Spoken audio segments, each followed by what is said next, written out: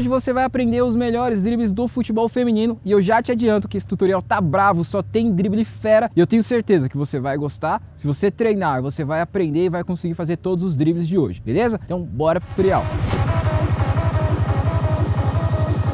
Esse aqui é o nosso primeiro drible e ele basicamente é uma puxada com pedalada e corte. Só que antes de eu te ensinar esse primeiro drible, eu quero fazer um combinado com você. Se você gostar desse vídeo, se esse vídeo te ajudar de alguma maneira, se você conseguir aprender os, os dribles que a gente vai te ensinar aqui, tudo que eu peço é que você se inscreva no nosso canal e deixe um comentário qual drible você mais gostou. Quero saber, estou sempre acompanhando os comentários e é muito importante a sua interação com o nosso vídeo, beleza? Combinado? Então vamos voltar para o primeiro drible? Primeiro drible, a gente basicamente vai trazer a bola para um lado e depois levar para o outro. A diferença é que nesse meio tempo tem, claro que tem a parte da, da ginga, a jogada de corpo e também tem uma pedalada, tá? A gente vai trazer a bola para um lado e levar para o outro, mas existe uma, uma, uma, série de fatores do corpo, do seu posicionamento, a forma como você usa o seu corpo, que vai fazer com que esse drible funcione ou não. Então, quando você tiver assim de frente para o seu marcador, esse é o drible que funciona muito para você limpar a jogada. A menina, quando ela faz esse drible, ela faz exatamente para isso. É um drible que funciona muito bem para você, por exemplo, finalizar no gol. Porque você vai trazer a bola aqui, ó, para um lado. Na hora que você trouxe a bola, fez a pedalada, se você perceber que o seu marcador veio para esse lado, ela corta a bola para o outro e já consegue sair limpo da jogada. Então é um drible muito bom para você finalizar, para você fazer alguma jogada, ou até para você dar um passe para seu companheiro. Recapitulando, dominei a bola aqui, meu marcador está de frente comigo. Eu venho trazendo a bola de lado aqui, na hora que eu cortar a bola, eu faço uma puxada, então fiz a puxada, já pedalo e já faço o corte em seguida. Claro que você tem que treinar para fazer o movimento único e fluido. Não é um, dois, três. Você não vai puxar a bola e cortar. É basicamente o mesmo movimento. Na hora que você puxou a bola aqui, ó, você já corta para outro lado. O próximo drible ele é similar com o anterior e eu deixei esses dois dribles próximos para você entender a diferença. Apesar do drible, a, o movimento ele ser parecido, ele é para situações diferentes. O drible anterior ele é para você limpar a jogada. Esse drible aqui é para você acelerar a jogada, para você ir para a linha de fundo. Só que antes de eu te mostrar o drible, eu gostaria também de falar do nosso programa de treinamento. Se você quer melhorar a forma como você joga futebol e se tornar o melhor jogador do seu time, estou deixando aqui no link da primeira, na descrição e também no primeiro comentário fixado, o link do nosso programa de treinamento. Assim que acabar o vídeo, confere lá que eu tenho certeza que você vai gostar. Esse drible aqui, quem fez foi a Marta. Se você quiser que a gente faça um drible só dos melhores dribles da Marta, eu tenho certeza que vai ter muito drible bom e eu quero saber a sua opinião. Se você quiser que a gente faça esse drible, deixa aqui nos comentários. Como que a Marta faz esse drible? É, como eu te falei, é um drible para você fazer em velocidade, para você ganhar a linha de fundo. Então eu vou vir aqui para o lado, imagina que seu marcador está desse lado e que você quer ganhar a linha de fundo, que você quer ganhar esse espaço aqui, aonde a câmera está. Muito importante você fazer esse drible em um movimento único. Então você recebeu a bola aqui, você vem conduzindo ela, aproximando o seu marcador. Na hora que você perceber que seu marcador plantou o pé no chão para marcar, ou na hora que você conseguir abrir espaço para ir para a linha de fundo, você vai fazer passar o pé em cima da bola e já fazer uma pedalada e já jogar a bola no fundo. Então são três movimentos, eu vou explicar passo a passo mas eles são feitos juntos. Quando você for treinar, você tem que fazer tudo ao mesmo tempo. Esse drible funciona muito se você fizer em velocidade, para você ganhar terreno e passar do seu marcador. Começa aqui, ó. Um, e você pedala próximo do seu marcador. Para quê? Você coloca a intenção de movimento como se você fosse para esse lado. Na hora que você pedalou, você já joga para a linha de fundo e acelera. Só que, de novo, dois pontos muito importantes para esse drible funcionar.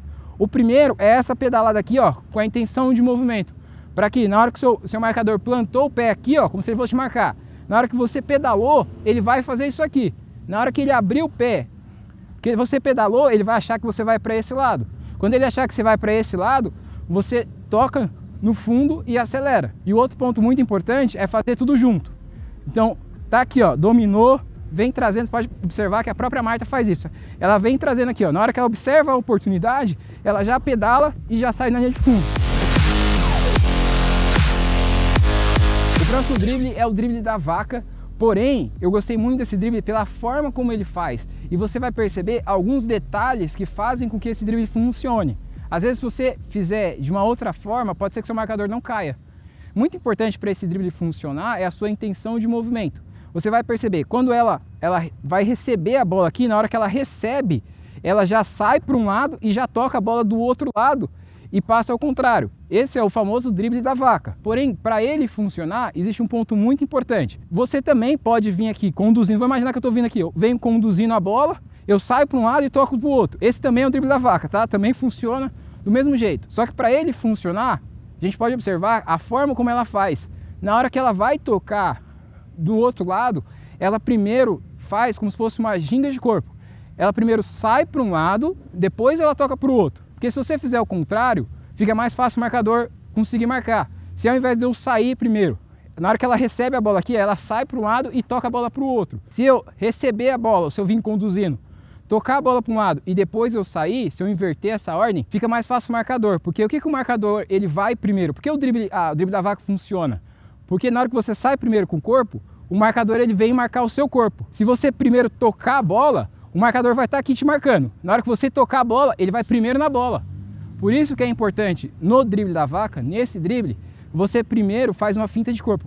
Você primeiro tira o seu corpo para o lado que você vai e depois você joga a bola. Isso vai fazer com que esse drible funcione mais, que você consiga enganar o seu marcador. Mas é sempre bom lembrar, para ele funcionar, você tem que fazer a leitura do seu adversário e você tem que colocar intenção no movimento. De nada adianta você ficar longe da bola aqui e só sair com o corpo. O marcador não vai cair. Então tem que ter o time do drible, isso aí é treino, é prática, e colocar intenção no movimento. É um ponto muito importante. Trabalha a sua linguagem corporal, sai primeiro com o corpo, depois você toca a bola.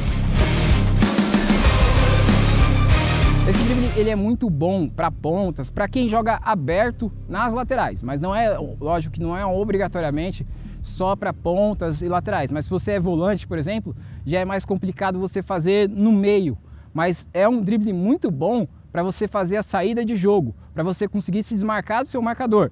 Imagina que você tá, tá, com o marcador, marcador sempre próximo de você. Para você conseguir se desvencilhar dele, às vezes você não consegue dominar e fazer a parede, porque ele vai tentar te antecipar, ou ele é maior, mais forte, enfim, ou você é mais rápido. É um drible quem faz muito no futebol masculino, o Vinícius Júnior. Normalmente essa é uma característica de jogadores rápidos, velozes que ao invés de você dominar, virar, não, ele já faz o domínio, já driblando, tirando o marcador e já saindo com a bola na frente. Então, quando a bola for vir na sua direção, se você perceber que seu marcador está a mais de meio metro de você, que ele não te acompanhou, você já vê para que lado. Se ele está vindo desse lado, é óbvio que você vai sair para esse lado. Se ele está vindo desse lado, você vai sair para o lado contrário. Na hora que a bola estiver vindo, você dá um corte em diagonal que você já vai conseguir sair em velocidade. Então, a bola está vindo nessa direção aqui, ó. você vai receber o passe, o marcador está vindo para ganhar a bola de você para antecipar. Ao invés de você dominar, na hora que a bola vier, você já corta para o lado contrário que seu marcador está vindo e já consegue sair de frente para a jogada. É um drible muito eficiente para se desmarcar do seu marcador e conseguir quebrar a linha e sair em velocidade. Esse drible também é muito eficiente para você fazer de costa para o seu marcador e conseguir se desvencilhar. Se o drible anterior ele era mais eficiente para pontas, para meias, esse drible aqui também é eficiente para volante, tá? Mas não é uma regra. É bom você entender a situação do jogo para você conseguir fazer o drible da melhor forma possível. Estou sendo marcado, vou receber a bola aqui ou recebi a bola aqui, meu marcador está nas minhas costas. Eu quero se desmarcar, eu quero conseguir vencer esse marcador, mas eu não consigo fazer o giro em cima dele. Então o que, que eu vou fazer? Eu vou fazer uma finta de corpo. Então vamos imaginar que eu recebi a bola aqui, ó. Recebi, o marcador está aqui nas minhas costas. Eu trago a bola para um lado, na hora que eu perceber que o marcador está me acompanhando, eu trouxe a bola como se eu fosse para essa direção. Na hora que eu ver que o marcador veio, eu passo o pé em cima da bola como se fosse uma pedalada ao inverso. Lembrando que é sempre importante colocar a intenção no movimento. Então esse drible não vai funcionar se você fizer assim, ó. Se você fizer assim, o seu corpo está para cá. Então o seu marcador não vai achar que você vai para lá.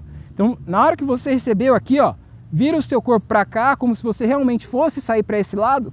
Aí na hora que você perceber que o seu marcador veio nessa direção, aí sim você faz a pedalada, a ginga de corpo e corta para o outro lado. Esses são só alguns dos melhores dribles do futebol feminino e eu também quero saber a sua opinião. Conseguiu fazer todos os dribles? Gostou dos dribles? Lembra do nosso combinado que a gente fez no começo do drible? Se você chegou até aqui, muito importante você se inscrever no canal, deixar o seu like e deixar o seu comentário aqui, achando que contando para mim o que você achou desse vídeo. Lembrando você, nosso programa de treinamento tá aqui no primeiro link da descrição e também a parte 2, tem mais 5 dribles do futebol feminino que eu separei que vai sair lá no canal da FUT, não é no nosso canal, é no canal da FUT Fanatics, eu vou deixar o link aqui no primeiro comentário fixado, beleza?